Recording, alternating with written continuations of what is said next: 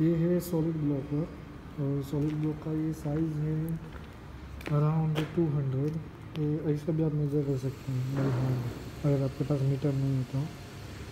ये two hundred है blocks और ये जो ब्लॉक जो यहाँ पे लगा है ये वन हंड्रेड का है। अराउंड जो शाफ्ट है। इन शाफ्ट का जो इम्पोर्टेंट चेक करना है, इसमें से उसका लेआउट चेक करना है।